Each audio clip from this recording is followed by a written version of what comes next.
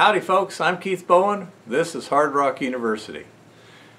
The next principle I'm going to try and make somewhat clear as much as possible in my extractive metallurgy uh, series here, mini series, is something called counter-current material movement where you've got two different material flows that are going in opposite directions. Now, this would usually be a liquid and a solid going opposite directions. This does not apply so much to physical separations like a gravity separation or flotation, unlike the uh, rougher cleaner scavenger circuit does. But this applies mainly to solutions and solids, whether you're dissolving them or adsorbing them onto a, like carbon for example, this improves the efficiency of that by uh, optimizing the, the kinetics. Okay, this principle is used primarily in leaching circuits. Now the reason you use it is because the kinetics of dissolution and absorption are affected by both the concentration of the valuable material in the solution, typically gold. I'll just use gold as an example. Um, and how much is adsorbed onto the recovery material. Usually activated carbon, although they have ion exchange resins now that, that are used more frequently than they used to be. So you have the gold and an adsorbent. And as you're absorbing the gold into the adsorbent, it becomes more and more difficult to get more gold into it. So what you want to do is create a circumstance whereby the most concentrated solution is used to expose your most loaded adsorbent first and then moving to less and less loaded adsorbent as it proceeds through the system and becomes more and more depleted. As you can see, this requires a little bit of trickery. It's not very complicated, but you do have to take active measures to maximize your recovery and minimize the amount of adsorbent required, the amount of recovery equipment needed to get the gold back out of the adsorbent. I'll just use the term carbon or resin for now instead of adsorbent. Okay, this is a rough diagram of the circuit that existed at the Chemgold Picacho mine where I used to work. And it's a fairly simple circuit. We had a heap leach. It doesn't matter what, how you get the stuff into solution, the gold into solution, heap leach, tank leach, agitated tank leach, vat leach, doesn't matter. Okay?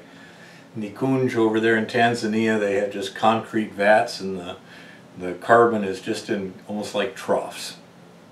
But it still works. We used what they call a fluidized bed carbon column. The solution came in the bottom and the particles were kind of lifted and expanded by the upwelling. And it was really interesting to see because it, it didn't look so much like a circulating upwelling. The carbon would just kind of rise up when you turned on the flow. It was kind of cool. The advantage of a fluidized bed column is that the carbon particles are equally exposed to the solution. You get very even loading. You don't have dead spots, so to speak. Okay. The problem is it's all being equally loaded. If you had just one like giant carbon column, you'd have to have a really big one to get good recoveries. So they do it with multiple columns, and here's how they do it. First of all, when you have fresh carbon, that would be put in this column here. This is the last column in the circuit and this would be the cleanest carbon, the, the, the least loaded. The leaching circuit, the solution would come in here. In this case we had gravity flow to maintain the flow through everything, so they're literally physically higher. The solution comes in, goes through the carbon in the first column, overflows, comes down, goes to the second column, overflows, comes down to the next. We had four columns. I've simplified. and the last column would have the least loaded carbon. And I forget, I know that we would smelt like once a week, but I don't know if we changed carbon columns once a week. I think it was like every two or three days we'd actually cycle the carbon columns one position. But anyhow, when you'd cycle this, you take the stripped carbon from the last stripping cycle, move it into the first slot, the first slot will move into the second, second will move into the third, and this would go down to the stripping cycle. Big circulation of carbon like this. So that each batch of carbon, each column, was being exposed to a solution more in keeping with its loading factor. The most concentrated loading would have the most concentrated solution. The least concentrated loading would have the least concentrated solution. This allows you to build up the highest loading factor possible without losing too much out the end. And once it was loaded, it would be sent to a stripping circuit. We used a very hot cyanide and lye solution. This stuff was extremely dangerous. The, the leaching circuit, the pH was only about 10, the cyanide was in fractions of a percent. And I mean, you could actually take a sip of that without hurting yourself. Wouldn't recommend it, but it was actually the, the pregnant solution coming out of the heap at the uh, Goldfields mine that I worked at actually had less cyanide per pound than is allowed in wheat flour by the FDA. So it didn't take much to dissolve it. It does take a lot to get it back off of the carbon. This was running pH of 14, 2% cyanide, 190 degrees Fahrenheit. It was some nasty stuff. You splash that on you, you could you'd get a horrible burn, both chemical and thermal, and you could very easily get a lethal dose of cyanide right through your skin. So this was a very limited area. It was in a cage because we're actually recovering the gold, and it was very dangerous. Now, that hot solution would be percolated through the carbon. It would dissolve the gold out of the carbon, bring it over here to an electrolytic cell where we plated it onto steel wool. Later on, we take the steel wool, dissolve it in acid, which leaves the gold, mix it with a flux, and smelt it into bars. Very common process. But once it was stripped, it would be moved back to this right here. Now you'll notice the solution is flowing this way and the carbon is moving this way. Now it's moving in steps, but nevertheless it's moving that way. That's why it's called counter current. The carbon is moving against the flow of solution. And that's why you would do it. Now here's another way you can do this. Instead of using a fluidized bed column, you can use a packed bed column. This is typically just a pipe. It's got screens in both ends to contain the adsorbent material. This is more commonly used with resins. Resins have higher loading factors, they're more expensive, they're very uniform, they're in beads, they don't crumble and flake, etc. So they just have certain characteristics that make them more suitable for a packed bed column. Put a screen in there, you just fill it up with the resin, put the other end on, and it holds it in place and it's a porous medium okay the beads don't move as such when you put the solution in this end and it's going this way it's very concentrated solution it's loading the uh, resin and there comes a point where this resin at this end becomes as loaded as it can get for that solution or close to it and that front moves down the column until it gets to this end. That's when you take that column out of circuit and do just like here. You take it, move it to stripping, and everything moves ahead one.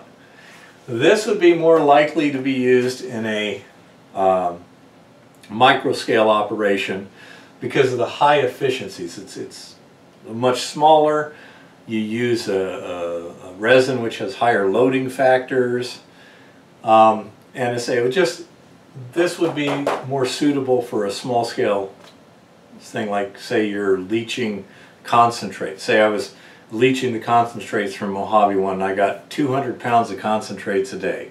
I can put in a barrel, I can dissolve it, I can stir it up, I can bring that solution around, send it through a carbon, uh, a column like this, and load that gold into that and then move that off to a stripping circuit pretty darn easily.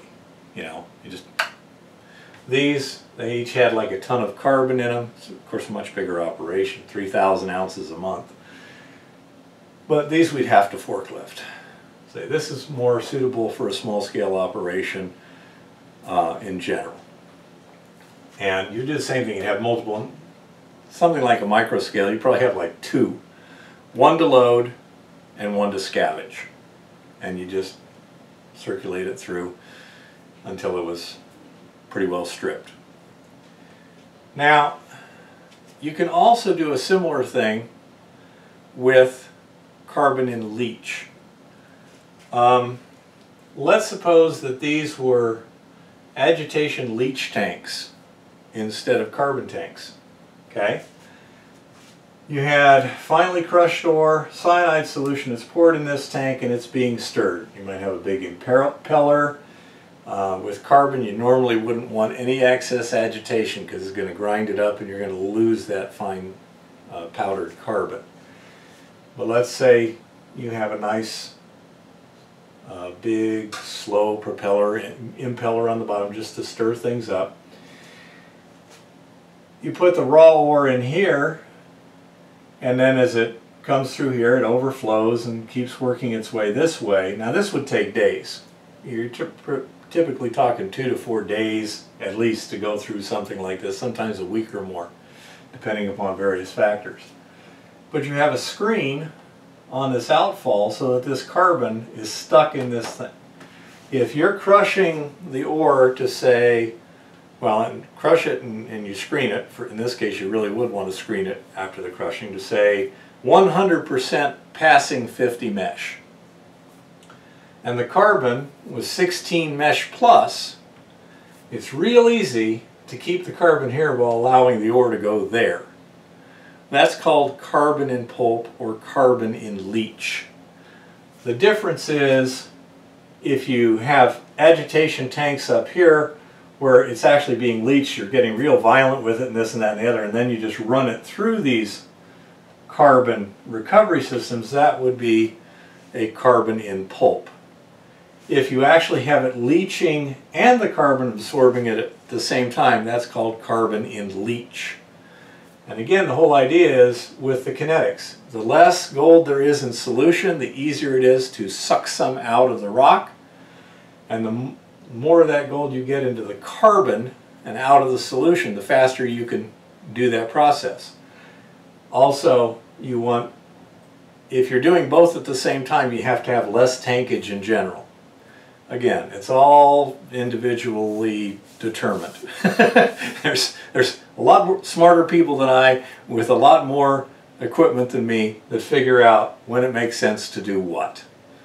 But that's another way you would have a countercurrent system. You've got your ore and your leach solution, you know, powdered ore this way, your carbon being held in the tanks and then advanced as time goes on and then the stuff from the lead tank would come in here and be uh, stripped, then sent back.